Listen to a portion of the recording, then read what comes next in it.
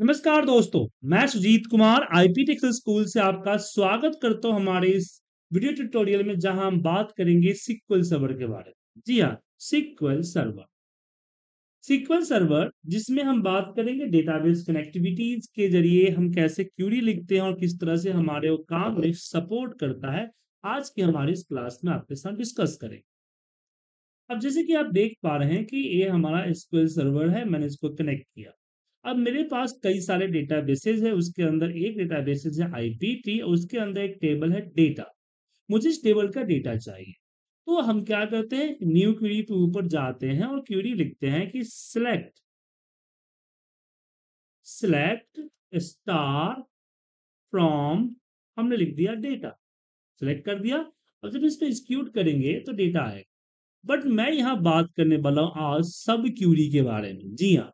मतलब कि मुझे डेटा तो चाहिए बट अभव एवरेज एमआरपी का जो एवरेज है ना, उस एवरेज से ज़्यादा चाहिए अभव एवरेज तो इसके लिए हम यहाँ वेयर कंडीशन लगाए कि वेयर एमआरपी और हमने बोला ग्रेटर देन अब यहाँ सब क्यूरी लगाना है तो ज़ाहिर सी बात है हम ब्राइकेट में लगाए। ब्राइकेट में लिखेंगे सिलेक्ट स्टार स्टार नहीं एवीजी होगा एवीजी और इसके अंदर एम आर पी और फ्रॉम हमने कोई डेटा टाइप सेलेक्ट कर लिया। इसको बोलते हैं सब क्यूरी मतलब कि एक क्यूरी ए रहा, उसके अंदर एक और क्यूरी रहा, इसको बोलते हैं सब क्यूरी अब इसको जैसे रन कीजिएगा, आप देखिएगा कि जो एमआरपी से बड़ा है, वही आया। अब यही नहीं, मैं इसको डेटा तो यहाँ पे आ गया रिज़ल्ट इसको फ़ाइल में या इसको हम कॉपी भी कर सकते लेकिन मैं इसको एक्सेल में इंपोर्ट करना चाहता हूँ। तो एक्सेल के अंदर भी हम सेम क्यूरी को रन कर सकते हैं। फ्रॉम एसक्यूएल सर्वर यहाँ पे पहले सर्वर का नेम दीजिए देन यहाँ पे अपना डेटाबेस नेम दीजिए। और ऑप्शंस में यहाँ पे क्यूरी या तो राइट कर लीजिए, या फिर अगर आपने कहीं लिख रखा है तो उसको कॉपी पेस्ट भी कर सकते हैं। तो यहाँ पे हमने इसको कॉपी पेस्ट कर दिया। Select star from data where MRP अब जैसे इसको ओके करेंगे तो ये थोड़ा सा चलेगा। और देखिए आप अब यहाँ पे इसने आईडी पासवर्ड नहीं मांगा। आईडी पासवर्ड न मांगने के, न मांगने के पीछे रीजन क्या है? रीजन ये है क्योंकि ये मेरा विंडो एप्लीकेशन है।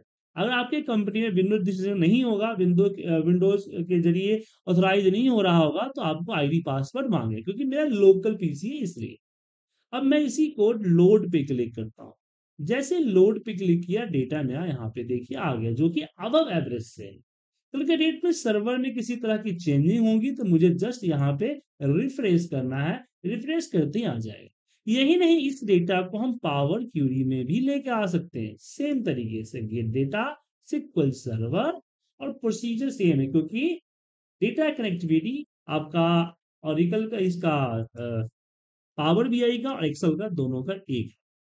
अब इसमें सर्वर नेम चाहिए तो कनेक्ट कीजिए ए होता है सर्वर नेम आईपीटी हो गया पीसी नेम यहाँ पे आपका पाथ भी हो सकता है एसक्यू एक्सप्रेस सर्वर नेम ये सर्वर नेम आपके कंपनी के अलग अलग नाम से हो सकता है।